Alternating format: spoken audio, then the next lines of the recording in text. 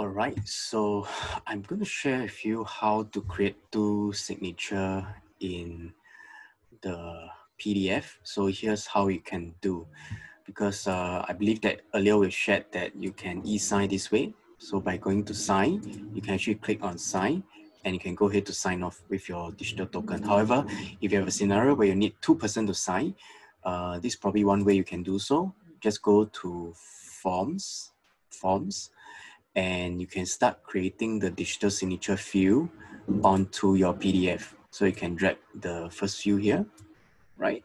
So you can actually name it, uh, right? So you can also go ahead to create a second one, right? We probably can name it as uh, admin, right?